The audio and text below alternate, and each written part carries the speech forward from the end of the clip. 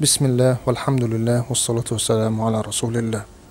في هذا الفيديو سوف نتناول ثلاثة مقاطع شيقة تمساح الشاطئ والعاصفة الثلجية وكبرى الشاطئ. فهيا بنا. المقطع الأول. لا شيء يضاهي الاسترخاء في فترة ما بعد الظهيرة على الشاطئ حيث يستمتع الجميع بالشمس والبحر ويبدو في هذا المقطع أن التماسيح تفعل ذلك أيضا. وكيف لا نقول أن التمساح لا يمكنه التنزه في الماء ليبرد بعد كل ما يفعله للصيد للبقاء على قيد الحياة؟ ولحسن الحظ لا يبدو التمساح منزعجا من مجموعة الأشخاص الذين يتبعونه أسفل الرمال. لعله يقول الآن كم هذا لطيفا.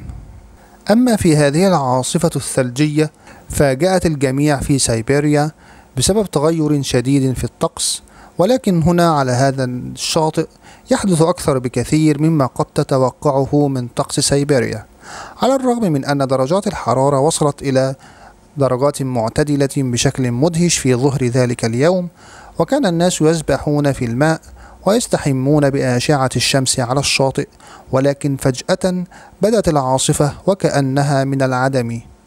عندما تجمعت الغيوم بدأت تمطر على الشاطئ وكان الناس يضحكون من أجل التغطية.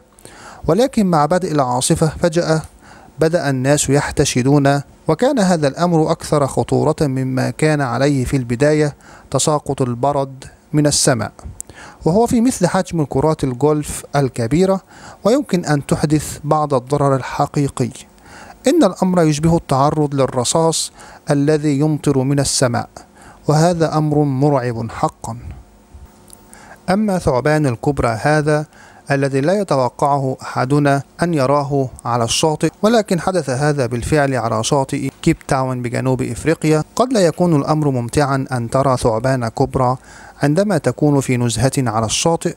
ولكن على ما يبدو إذا كنت في جنوب إفريقيا فإن ذلك هو احتمال حقيقي. تم التقاط هذه اللقطات على حين غرة من السكان المحليين الذين كانوا بالخارج وساعدوا في حفر أحد الشواطئ في كيب تاون بجنوب إفريقيا. حيث يظهر أحد الثعابين السامة في إفريقيا تتسكع على الشاطئ. سيتم التقاط الثعبان أثناء محاولته الانزلاق على الرمال للوصول إلى الماء مما يضع منظورا جديدا تماما عند الغطس في المحيط. أعني أنك تعرف أسماك القرش وما إلى ذلك ولكن الثعابين من بين الأكثر خطورة كأعلى معدلات وفيات بين السكان. فإن الكبرى لديها لدغة سامة مميتة والتي إذا تركت دون إعطاء مضاد للسم يمكن أن تقتل شخصا بالغا في أقل من ساعة واحدة. تشمل مجموعة الأعراض القاتلة ألم في الرئتين وسيلان في اللعاب والنعاس والتشنجات وأخيرا الشلل ثم الموت المحتوم.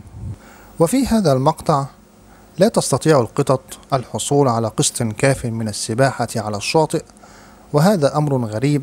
حتى أنك تعلم أن القطط لا يمكنها أن تسبح. لقد اعتقدت دائما أنها لا تحب الماء على الإطلاق ولكن هناك قطط على خلاف ذلك.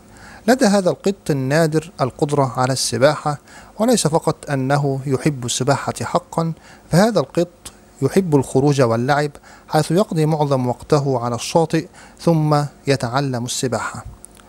ويتبع القط عائلته أينما ذهبوا والذي يشمل منزلهم في جميع الأوقات ثم أي مكان آخر قد يذهبون إليه. ما رأيك في هذا القط؟ هل تحب أن تقتني واحدا مثله؟ أجبنا في التعليقات. إذا أعجبكم هذا الفيديو فلا تنسوا الإعجاب والاشتراك بالقناة وتفعيل الجرس ليصلكم كل ما هو جديد ومفيد. نلقاكم على خير في فيديو جديد. أترككم في رعاية الله وأمنه.